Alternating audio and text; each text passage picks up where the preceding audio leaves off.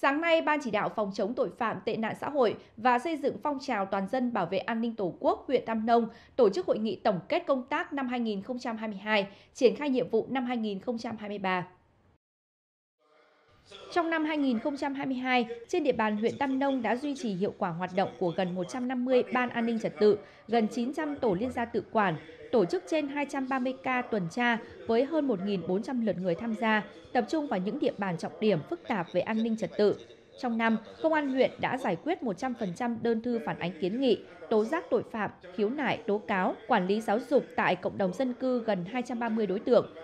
xây dựng mới 3 mô hình điển hình tiên tiến trong phong trào toàn dân bảo vệ an ninh Tổ quốc như phòng chống tội phạm xâm hại trẻ em, dòng họ tự quản, công an huyện Tam Nông, Phú Thọ vì nhân dân phục vụ, nhân rộng hai mô hình bóng đèn an ninh tại 21 khu dân cư trên địa bàn 6 xã thị trấn và mô hình camera an ninh tại 12 trên 12 xã thị trấn với tổng số 300 camera. Năm 2023, Ban chỉ đạo phòng chống tội phạm tệ nạn xã hội và xây dựng phong trào toàn dân bảo vệ an ninh Tổ quốc huyện Tam Nông tiếp tục đẩy mạnh công tác tuyên truyền vận động, nâng cao nhận thức cho cán bộ, đảng viên và các tầng lớp nhân dân về nhiệm vụ bảo vệ an ninh trật tự và xây dựng phong trào toàn dân bảo vệ an ninh Tổ quốc trong tình hình mới.